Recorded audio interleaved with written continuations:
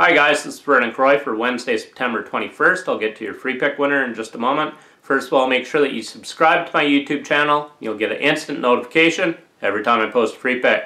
I'm coming off an 0-2 night on the basis last night as we dropped my free play. We also dropped my 5-unit MLB game of the week. I apologize for that play. It was a terrible pick, unbelievable, did not even come close to cashing.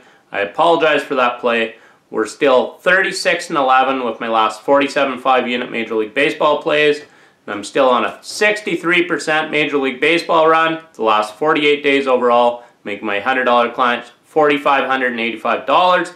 There's nothing to hang our heads about. We will bounce back right here Wednesday with my 4 unit MLB Smash. I will be posting a link in the comment section that allows new clients of DocSports.com to get $60 worth of premium picks, 100% free on the house. That allows you to get my 4 unit MLB play that goes right here Wednesday.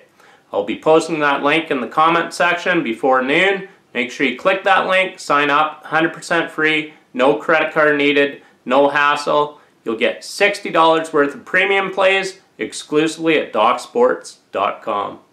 Your free pick winner for Wednesday, September 21st. We're taking the LA Dodgers on the money line once again, except I expect a much different result here tonight.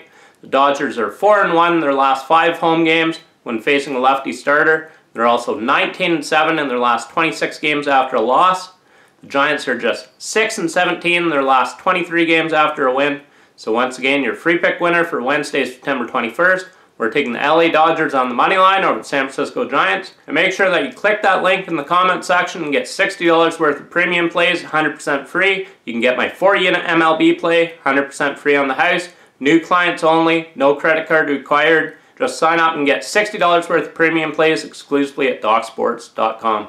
Until Thursday, in winning, Vernon Croy.